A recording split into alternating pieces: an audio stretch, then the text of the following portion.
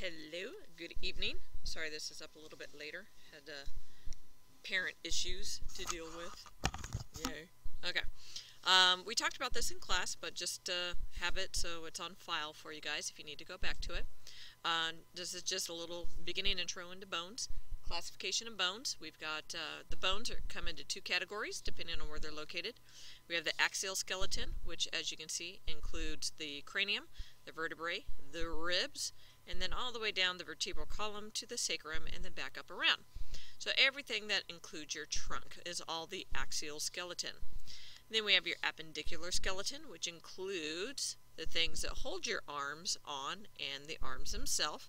So that's clavicle, scapula, and the arms.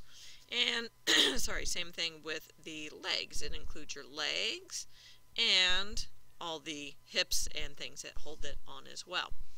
So they've got it color coded in here, and which makes it pretty easy to do. In your packet on the very back there is a skeleton which you have to ID all the different bones. So it might be a good idea, you don't have to, but it's a good idea to color code the same thing on here as well. Okay, uh, types of bones, there's four different types of bones depending on their general shape.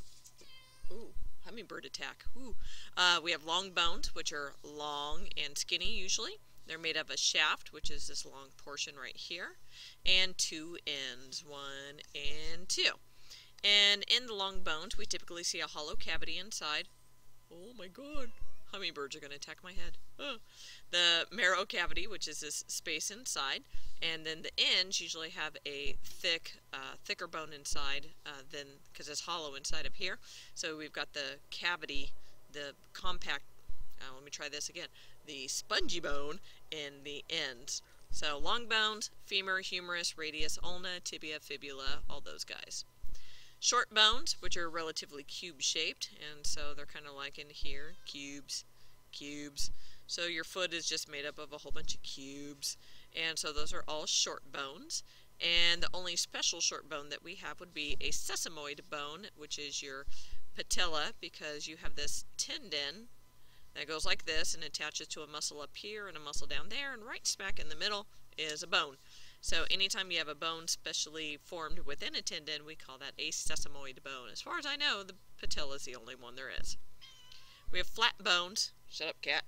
Flat bones, as you can imagine, are flat. So if you look at them from the side, they're relatively flat.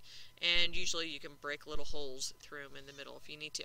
Now because it's flat, it can break easily, and so they've got these projections on here which actually give it a little extra strength. And the last type of bone, which doesn't fit in any category, would be irregular bones, because they're, they're not quite cube-shaped because of the arms sticking out. They're not flat, they're not long, so we just call them irregular. So your vertebrae are the greatest example of these, but then our hip bones uh, also fit. Functions of bones, we talked about this as well, that they support... Sorry, the hummingbirds are freaking me out. Um, they support your organs inside, so we got all the main organs inside are being nice and nestled inside of your this little cavity created by the bones. Protection, it protects all those main organs inside. Movement, it allows your body to move without the bone. It would just kind of flop there. Mineral storage, specifically calcium and phosphates. Phosphate is just PO4, if you remember that from chemistry. And then blood cell formation. This word is kind of fancy right there and important to know. Hematopoiesis, which is just a formation of blood in your bone marrow. Okay, now bones aren't nice and smooth. They have little things that pop out and little areas like that and small space, a little hole right there, a dip right there, a curl right there. So they all have fancy names, all these little projections, and so we categorize them in one of two forms. Things that stick out of the bone or things that dip into the bone. And whoop, there goes my microphone. So if they stick out of the bone, we call those projections. And in the table uh, on page 179, we'll show you all the different types and give you examples.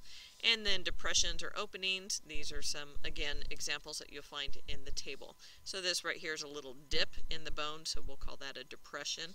This sticks out, that's called a trochanter. Uh, I'm sorry, that's a head. And then here's a little trochanter there and there. So we're not going to get into the details, just know that they're, they refer to markings on the bone. Then we got bone texture. We have solid bone and spongy bone. So the spongy bone obviously looks like a sponge and it's made of all these little arches inside of here. And the arches are called trabeculae or trabecula, and that just means little beams. And so it's kind of like the arches that we see in Roman aqueducts. It's a very strong structure, so it gives our bones lots and lots of support. The compact bone doesn't look like much here. We'll learn later on that it's actually really fancy inside and is very deep in uh, structural complexity. Alright, and then we've got the last one up next, 4-3, gross anatomy of a bone. Alright, so that was just kind of a quick synopsis of what we talked about today. So I'll see you later. Bye.